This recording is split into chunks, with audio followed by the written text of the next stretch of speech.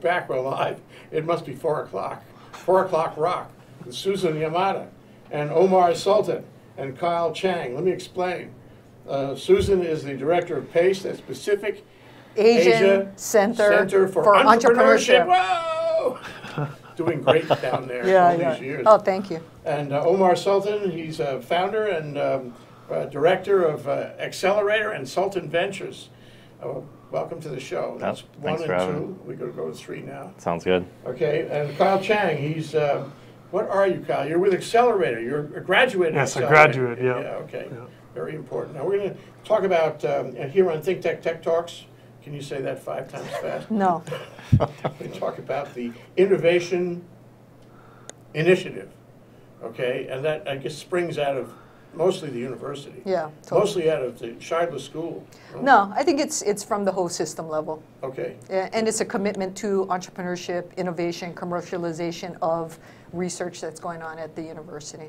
and that's the point of our show today. We want to find out, you know, where it came from, what programs it has, how they work together, and how it's affecting, you know, our existing innovation economy and taking it to the next level, and ultimately saving our state. Nothing, nothing modest here. Uh huh. I forgot my cape at home, but So why don't you begin, Susan? You know, where did this come from? What is it intended to do? Um, how does PACE play into it? Okay, so the um, Hawaii uh, Innovation Initiative was started, I'd say, maybe five years ago, and the whole idea was to really have the university be at the forefront of research and innovation in the state. And, and there's about $400 million worth of research money that comes into the university every year. Um, and I think we can do a better job of improving the commercialization of those um, innovations and make it more of applied research where it's applied to a specific solution. So there's been a lot of work being done over uh, the eight, nine years that I've been there. Uh, you had Vassilis Syrmos, who's our Vice President of Research and Innovation, on uh, a couple of weeks ago. And you know, he has done a lot, in my opinion, in moving us more forward as far as his vision for what we need to be doing at the university. So as far as PACE is concerned and what I do is we are a program that is run out of the Shidler College of Business. We have about 20 different programs that we administer every academic year. Examples? So the business plan competition, pitch competitions, microloan programs, mentoring, coaching, speaker series, Trying to stimulate people to do entrepreneur, entrepreneurial things. think entrepreneurially. Yeah. We want them to think entrepreneurially. Okay. And so we do that, but we are open only to faculty and students. So, but 90% of who we, or even 95% of who we serve are students. So it's really an educational role that we play. And historically, once you hit the business plan competition, you are you are done. They, you you hit the, the pinnacle of the PACE But programs. that's only historical. We're going Yes. further than that now. So now we're moving to the 21st century now. And um, under Vassilis' leadership, he felt that we needed an accelerator, and so he formed da da da da. Accelerator, okay. Yep. She's passing it off to you, Omar. I've got the baton. I'm ready. So, qu'est-ce que c'est accelerator? So accelerate And spell it UH. for me because it's a cute spelling. Sure, it's XLR8UH. It's like a vanity plate, so you read it accelerate UH. Um, so Sultan Ventures formed it as a public-private partnership with the University of Hawaii system. The whole idea is to be able to invest in the research that's arising within the university, as well as the talent that's associated with the university. Um, so you know, really kind of focusing on the, the human capital aspect of it, as well as the intellectual property. Why did you want to do this? Through our work, the Upside Fund, so there's a seed stage venture fund that's run out of UH Foundation that we also um, help manage. Uh, we saw that there was a lot of need and pent up demand at the university. So, as Susan mentioned, you know, people who are interested in entrepreneurship, people who are interested in starting their own ventures, uh, regardless of what that was, they would go through the PACE programs, which uh, you know, there's 20 of them, so there's significant amount of resources available to students and faculty there. And then after they, you know, finish those programs and matriculate out of them, they were kind of met with a cliff. And so, um, you know, a bunch of us got together. Susan obviously was one of them as well. And we said, what? How Who can we? I need to know this. Gosh, I don't know. I don't know, you guys had the ini- idea initially, Yeah. you went to Vassilis, Vassilis supported it. This is the way things happen. Yeah, exactly. And I mean, Omar and his brother, they were part of our business plan competition when Right. they were uh, getting their MBAs at Shidler. And, you know, frankly, there was no place for them to go after the business plan competition. We could send them, you know, to other business plan competitions across the country, but there was really nothing Right. at home that we could, you know, refer you to to extend the runway, so Yeah. to speak. So this So becomes we- very we important experienced- for Hawaii. Absolutely. I mean, we experienced, as Susan just mentioned, we experienced that problem firsthand, right? So through our work of managing this other fund now, we said, all right, now's the time to actually change all of this. Um, the planets aligned and the stars aligned, as Susan says, right? So we took this idea to uh, VP Syrmos, uh, you know, VP for Research and Innovation, and we said, here's our plan.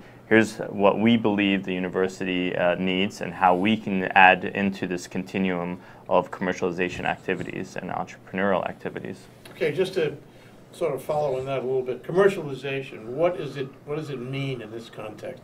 What was missing and what now does Accelerator provide? Sure. So commercialization, I mean, in really the most simple terms is there's two types of research. There's basic research that's done in labs, and then there's applied research. Commercialization is trying to take things from that basic research where it just sits in a lab to an, a specific application that can exist in the marketplace to benefit people of Hawaii, the people of the world, et cetera.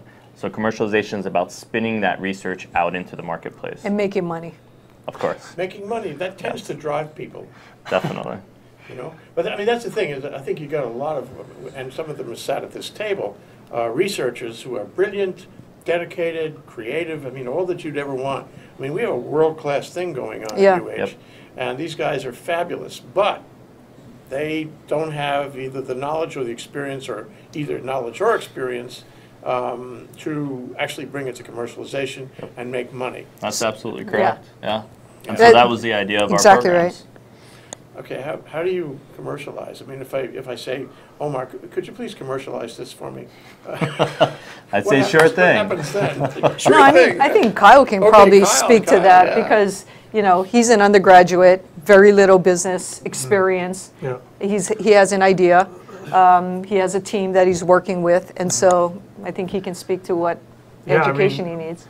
I've been through two phases now, so both the um, phase one and phase two of the Accelerate UH program, and you know, just going from a small business idea to now actually applying real, real world like knowledge on how to fundraise, how to, you know, build good PR, build good marketing, and then also knowing how to pitch it to investors. That all came through this uh, program with alongside Pace and the um, like the numerous uh, UH uh, resources out there for students, not just you know undergraduates, but MBAs, PhDs who want to take their small idea and scale it to you know huge money making opportunities. So, um, you're, you're doing that. You're a case study. You Yes. brought a case study with you. Yeah. We always want to have case studies. Living- How- living how- how- How example. many Living case studies do we have right now? Recipient. We have 24 actually. 24 in the That have last graduated. Case studies, what you case like. studies. So Yeah. 24 companies we've invested in, trained, um, and sent out to flourish in the last two years. like children, I think. Yeah. Yeah. Okay, well, you know, in the pitch world, that's, you know, entrepreneurial term. No, you're good. I'm good. sure you heard that at Yeah, Pace a once in few while. times. I'm sure you, you've heard it and made it also, Omar. So, um, Kyle, you know, g- give us 90 seconds on, on what you're doing. Sure. So I'm with Health Tech Apps. Health Tech Apps, we believe that the best person to tell your health story is you. So, so we have uh, developed an app that helps athletes, active individuals, and doctors to both monitor and manage a head injury or a sports concussion with video features on their mobile device. So through my experience, you know, getting two two head injuries, I've found out that hey, it's hard to track my symptoms and my triggers and share that uh, with my doctor. So through our technology, we're allowing uh, video capturing features to you know bring that to life and help you know patients like myself or, or other uh, people to share that with their doctors.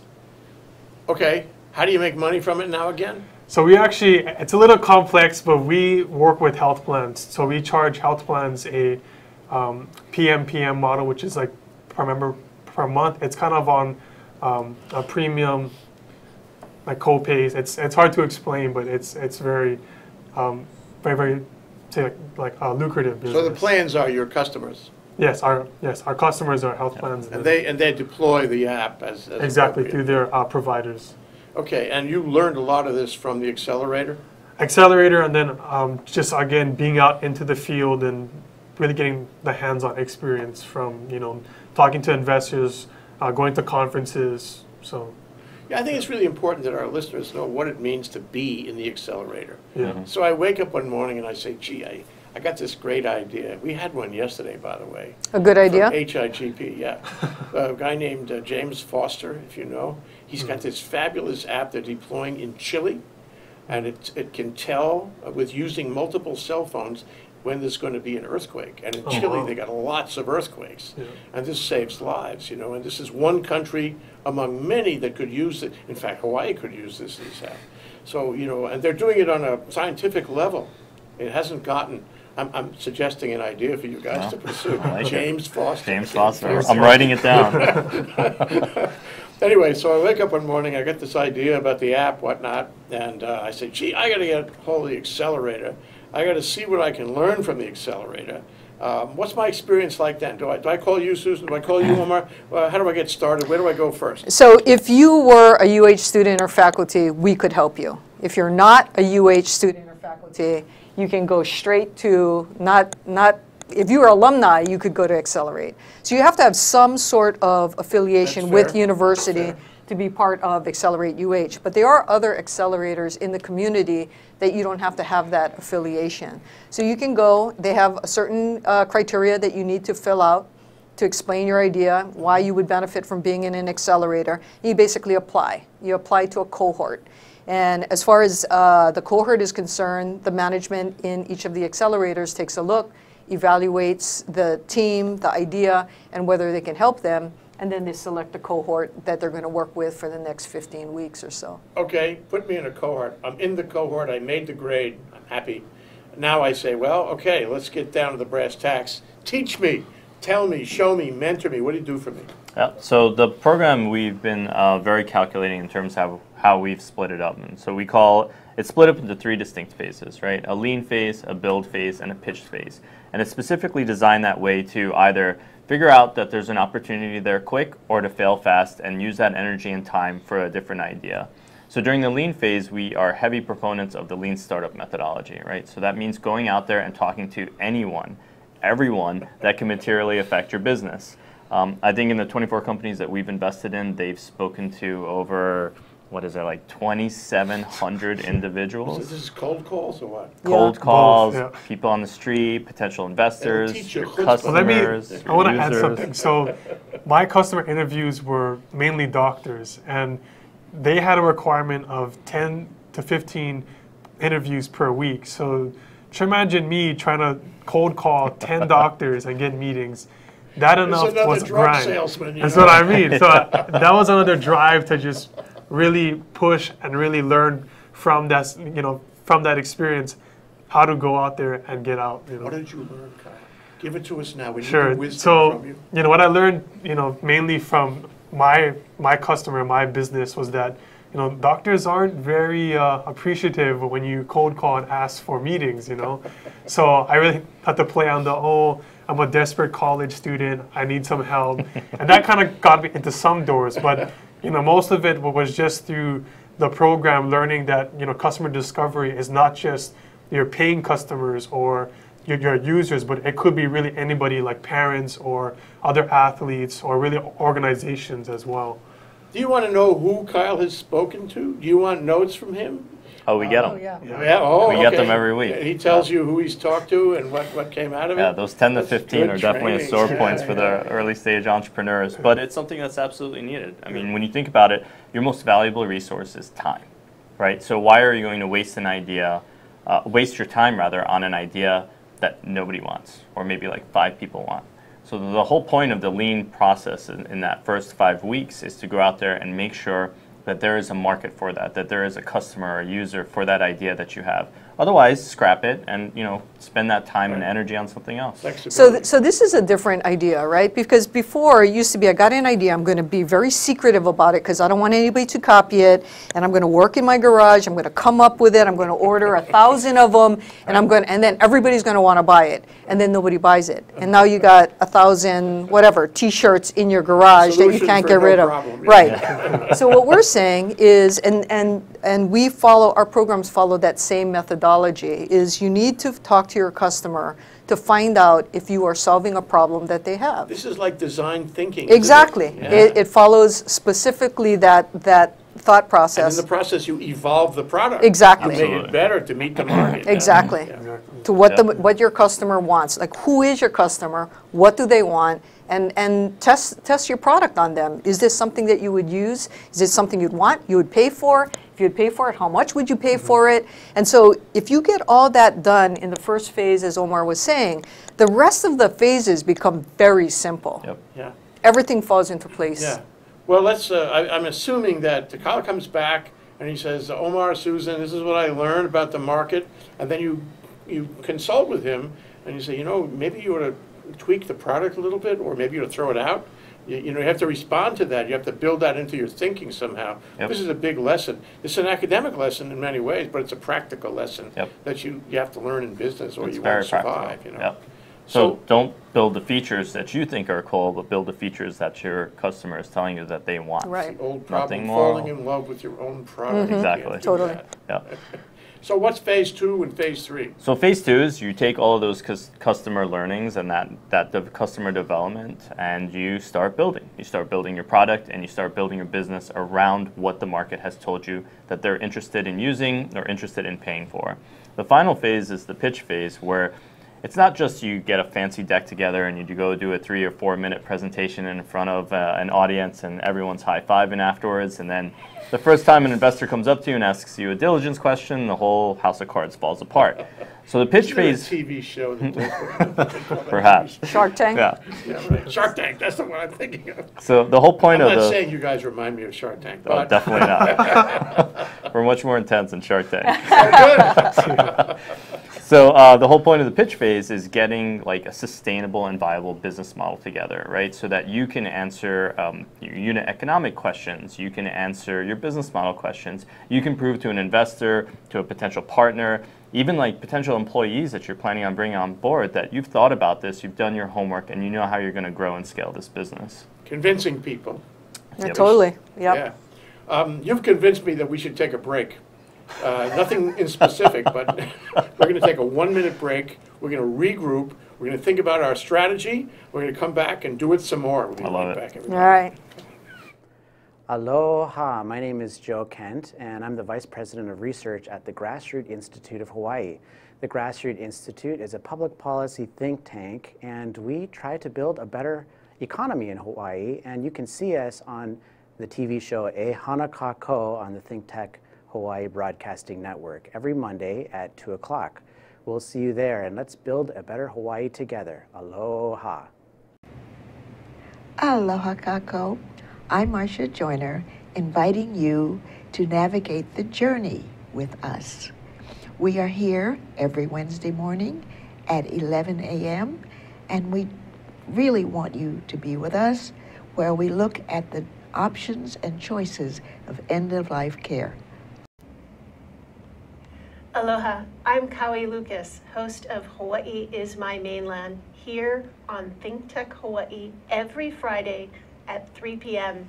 We address issues of importance for those of us who live here on the most isolated landmass on the planet. Please come join me Fridays at 3 p.m. Mahalo. Hey everybody, uh, it's Ian, social media manager here at Think Tech Hawaii. Thanks for tuning in. I'm sorry to break into your show. If you're listening on the podcast, thanks for listening, watching on YouTube. We appreciate the subscription, etc. Uh, if you are a longtime listener or viewer of Think Tech Hawaii, you would know that we are on every day, five to six hours a day, basically streaming stuff that's happening here in Hawaii that matters to everybody worldwide, basically. There's a lot of stuff that we got going on, and we're excited about many of them. 2017 is going to be really cool. But right now, I can tell you that we are on iTunes where you can listen to all of this stuff now. We're really, really excited about how that's going. And we have just started a uh, on the street feature where we take a camera out to the street and stream live to you guys out there and getting what people in the local community out, what they want or are thinking about, and sharing that with you. Um, we're really excited about all that stuff. We're really excited about you guys watching and following us on all the social media sort of things Instagram, Facebook, Twitter, all that good stuff. Look for us, Think Tech HI. Watch us on Olelo. Thank you so much. Our, everybody here appreciates it. One. Bingo, we're back.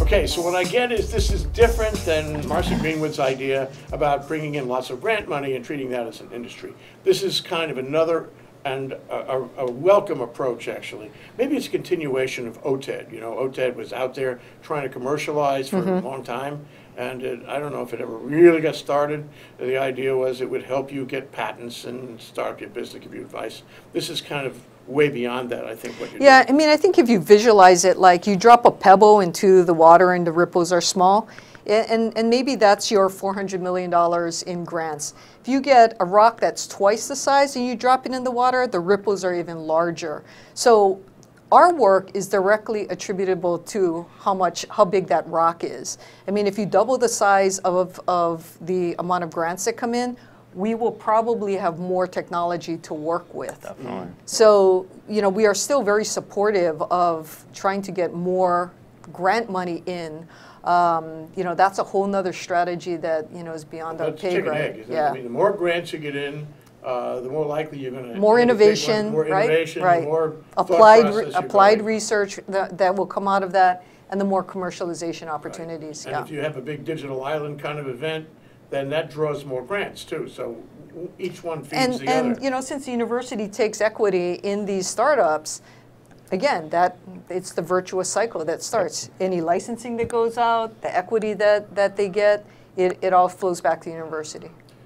This is very good. This is where the university needs to be, don't you think? The university should be the center of this. Uh, You, This if you is look at a lot of to the plate really um, successful communities with technology industries, uh, you'll find that the university is smack dab in the middle of that. Yeah. You know, but we've seen, we've seen startups in this community that looked pretty good at the beginning, and I Mhm. could name names.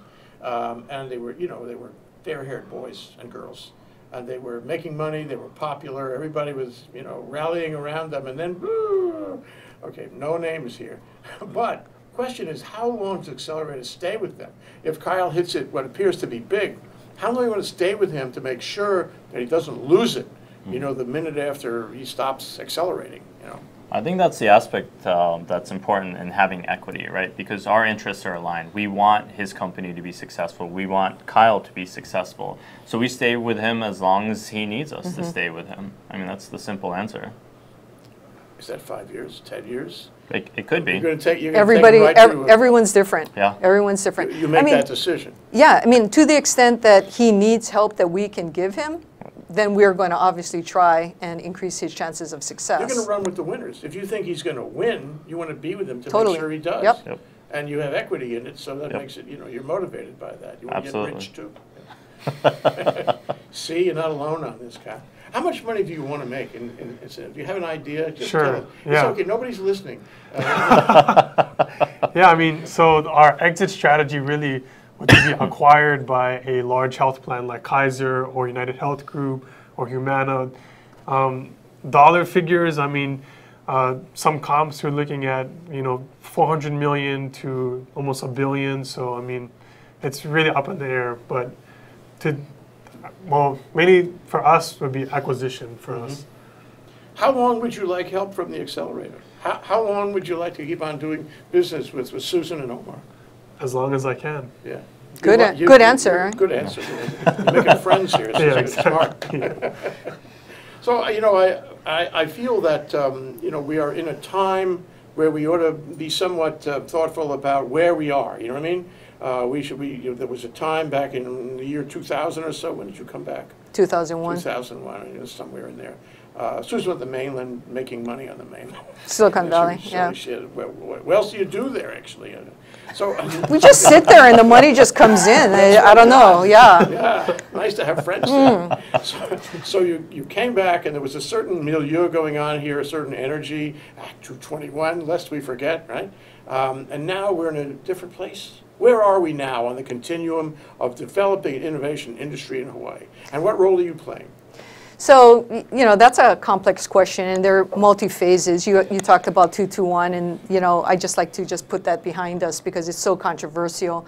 But, you know, even after 221 was, was completed, run its course, you know, I thought there was a lot of activity that, that it inspired. Hawaii Angels, uh, the angel investment uh, group was formed. Uh, a number of different virtual uh, accelerators were formed. PACE was formed. Um, and then you, you, you fast forward to 10 years later, and you know, I think we have made tremendous progress, but even more so than that, my feeling is that we have hit this tipping point where no longer do we have to go and go, no, really, it's important for our community. I think we've proven a lot. And there are people who are jumping on the bandwagon as far as why it's important that we have diversification in the economy, why having a, a, a nice technology industry is good for Hawaii. It's not using a lot of resources, it's high paying jobs, you know, people can work virtually. Um, so I think that there is more so than ever, not just at the university, but, you know, downtown Bishop Street, that there's this understanding that, you know, we need to begin to diversify. You know, we're one bird flew away, you know, one 9-11 away from, you know, these stools of our economy collapsing. It's how do we be, begin to diversify and create jobs that our kids can stay and, and, and occupy versus having to go somewhere else. Mm-hmm. So we've, we've made tremendous progress in, in, I'd say, the last 15 years. Omar, are we moving fast enough for you? Are you impatient in any way? Definitely impatient, and uh, you know we're an accelerator, so we like things to keep moving fast. Accelerators right? always like to go faster. I got it. But I think the pace is really good. Um, just to kind of piggyback on what Susan was saying, I think what was different before, it was more focused on individual companies and the success or failure of those individual companies. Whereas now it's more holistic, right? We're trying to build an innovation uh, ecosystem here in the state. So third leg of the economy, if you will, right? To join, to be up there with military and tourism. If you look at other innovation ecosystems around the country, around the world, what's smack dab center in that is a R&D university. And we have one in our backyard, UH, right? Top third in the nation in terms of the federal R&D grants that are Yep, going in there. true. Um, so the university has now stepped up to the plate in a big way, more perhaps so than they ever have in the past. Agreed. And there's tons and tons of new initiatives with internal to the university. I mean, outside of PACE and outside of our accelerator, uh, that the university is, is backing, right? Whether it's the innovation lab that's on campus or uh, some of the new PACE center uh, for co-working and whatnot. There's a big, it's different in the air this time because everyone is working towards creating this innovation economy. And so it's more so than just the success or failure of any one company. So, Kyle, we're out of time. I'm sorry. That's why I'm going to offer you the opportunity to close. Oh, So, to summarize what we what we said here, what it means here, where we're going here, and how much of what these guys have said do you agree with, if anything? I mean, I, I like, I agree with you know all of it. I mean, just having the R and D university like UH, you know, really pumping money into research and into innovation. I mean, that's going to be key for young students like myself and after to really know, hey, I can start this tech company or I can, you know, go into entrepreneurship as a field for a high scalable business. Great.